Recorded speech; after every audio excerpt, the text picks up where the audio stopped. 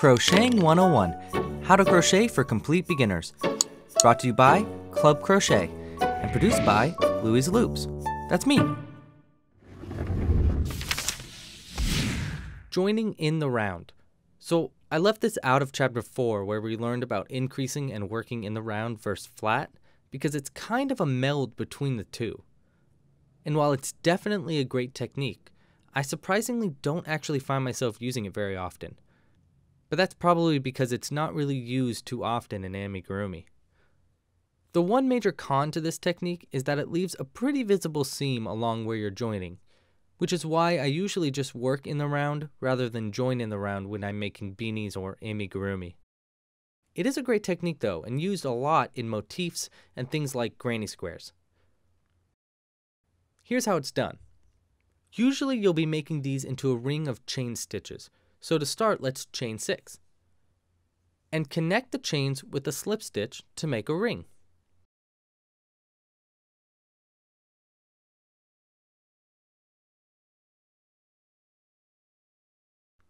Now we'll be working into the center hole here.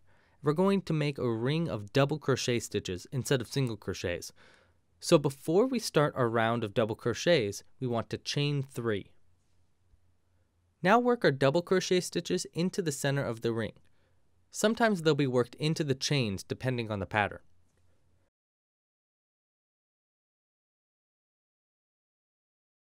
We're going to make 12 double crochet stitches into the ring.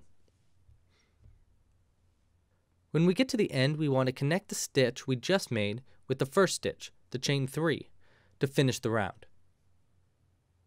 You do this by making a slip stitch into the last of the three chains you made before round 1.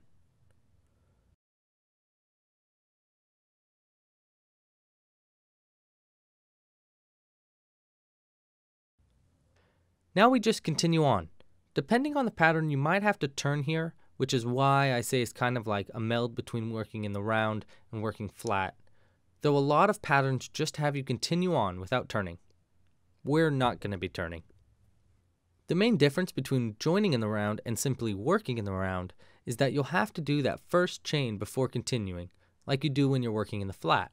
For example, here, since we're working with double crochet stitches, we'll chain 3 before continuing. Now you can continue on, putting the rest of your stitches into the two loops, like normal. For this round, we're doing an increase into each stitch around. There should be 24 stitches by the end.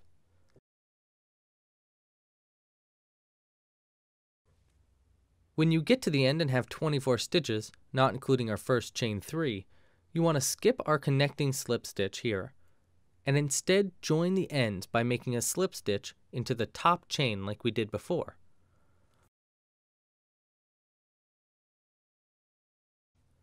And that's how you join in the round for crocheting. Continue using this method, chaining before each round, and when you get to a size you want, Simply cut and pull through at the end to make a final knot, which you can then sew into the piece to hide it, or use it to sew pieces together.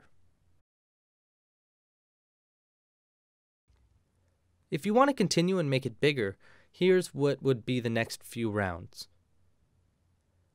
For round 3, you double crochet 1 and then increase, repeating that 12 times total, and ending up at 36 stitches. For round 4, you would double crochet 2 and then increase, repeating 12 times total, and ending up at 48 stitches. And for round 5, you will double crochet 3 and then increase, repeating that 12 times, ending up at 60 stitches total. You might kind of see a pattern here. Hey there, thanks for watching. If you like this video, let me know by liking the video down below and following Louie's Loops on any social media and click the link on the screen now or down below to go to the next video. Pasta la pizza and happy hooking!